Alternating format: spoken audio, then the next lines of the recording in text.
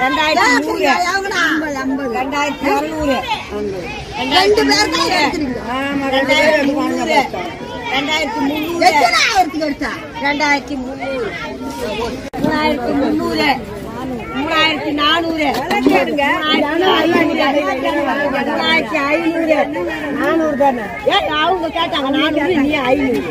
மூணாயிரத்தி ஐநூறு மூணாயிரத்தி ஐநூறு ஆயிரத்தி அறுநூறு ஆயிரத்தி ஐநூறு ஆயிரத்தி ஐநூறு ஆயிரத்தி ஐநூறு